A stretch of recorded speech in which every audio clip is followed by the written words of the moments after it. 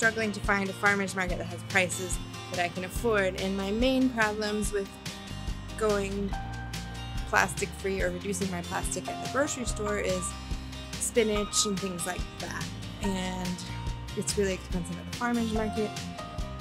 So meat, that's another thing. As you heard in my last video, meat is just not even possible to get without plastic, without driving like hours out of my way and having a huge freezer that I dedicate to meat, which just is not an option at this point in my life.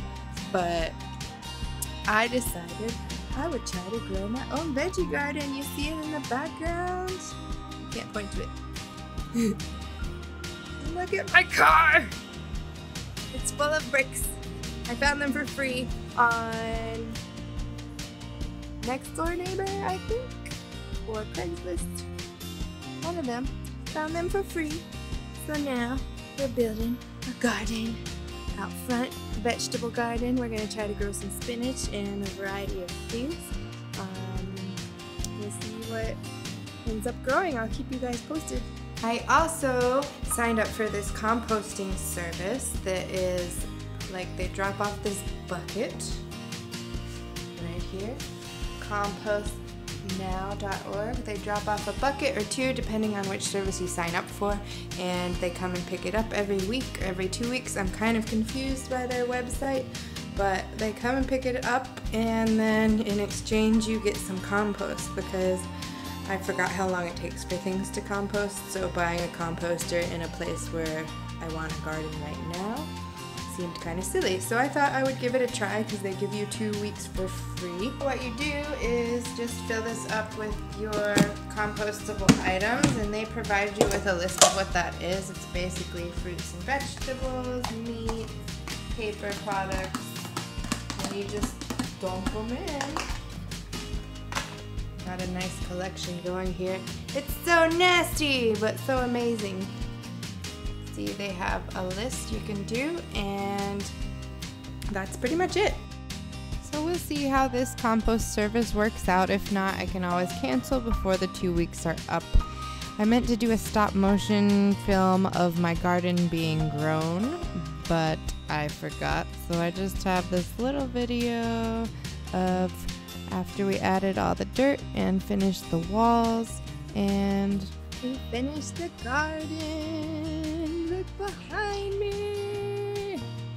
So I got some strawberries and I think I put onions. And then I got some free flowers so I put them in the back. I got zucchini, tomatoes, and peppers and then over here I got potatoes, onions, and kale. And one zucchini here because our garden's not very sunny so we're trying zucchini in two places hoping it gets enough sun. Um, it probably doesn't so hopefully we'll still get something but if not we tried. The final budget for this, I think, was about $120. But listen, uh, you can do a garden so much cheaper if you plan better. We were in a rush, so that makes a huge difference because we bought plants that were already sprouted and those run like $3 a piece versus if you just get a packet of seeds, it's like $1.50, $2. So if you start earlier, uh, you don't have to spend as much money. Soil is also expensive. It's like $10 for two cubic feet, which really doesn't go that far. It took us, well, we got some free compost, but to finish off the garden, it still took us six bags of the soil. So probably would have taken at least 10.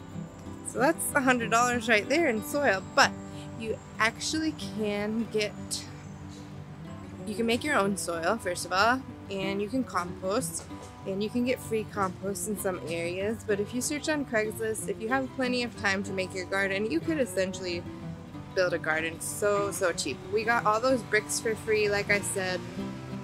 Um, so we built the wall for free. And if you just keep your eye out on Craigslist and stuff like that and if you have a pickup truck that helps a lot. And you can just go get dirt when people post free dirt or free compost. Uh, we actually got compost from DeKalb County, they had a place. I'll post a link in the description below where you can go get free compost when they have some. I'm sure your county might do that as well. And you could essentially do a garden for free. Ours was super expensive, but I just really wanted to garden and it's already May, so it's really running late, so we tried to just shove it in as quickly as possible. That's what she said. um, yeah, so when we were building our garden, we made a little friend. He was upside down on my patio.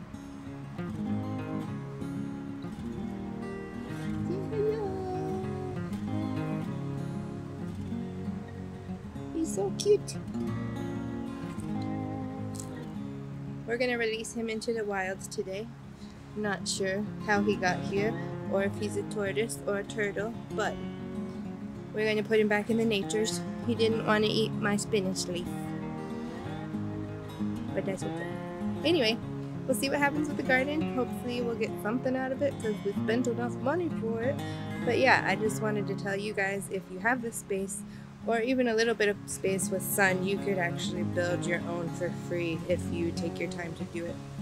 Um, this is another option when you're struggling to find plastic-free options at the store. So I'm really hoping that my I couldn't actually do spinach. I couldn't find any spinach, but I wanted to do spinach since I'm struggling to find that outside of plastic that's not outrageously expensive like the farmer's market four dollars for like enough spinach for a salad. So we'll see. If you've been enjoying my videos, please share with all of your friends and tell them to subscribe too. See you later!